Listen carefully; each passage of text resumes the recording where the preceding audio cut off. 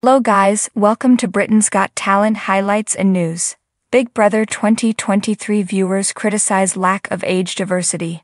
Big Brother returned to our screens this year as the reboot of the reality TV launched with its debut episode on ITV, introducing us to the cast.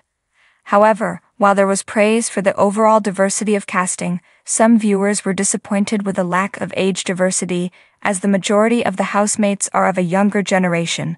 Some viewers, particularly those who watched the original incarnation of Big Brother, wanted more middle aged and older contestants. Other viewers, however, rationalized this as a decision to base the age of the contestants on the core viewership ITV expect to garner, particularly as the show is airing on ITV2, with its launch also broadcast on ITV. However, the housemates certainly skewed toward the younger side. Farida is the oldest at age 50, while Kerry is 40 and Dylan is 39. No one else is above the age of 33. One fan wrote, My one criticism so far concerning the housemates is that there are no middle-aged or older people in there. I'm guessing the housemates are reflecting hashtag ITV2 viewer base rather than the population, which is a shame. One fan argued that Big Brother should be different to ITV's other flagship reality TV shows, writing, middle aged women and menopause, this isn't Love Island. Meanwhile, another fan argued that the age demographic of this new Big Brother series doesn't fully reflect the country as a whole.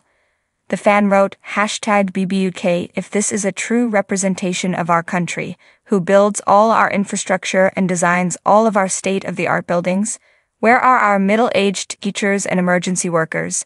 If this is it, God help my grandchildren.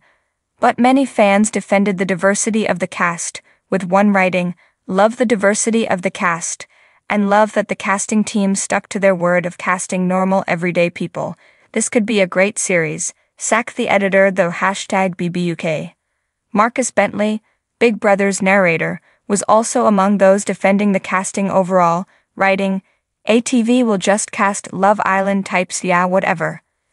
Thank you for watching, please subscribe to our channel to see more talents.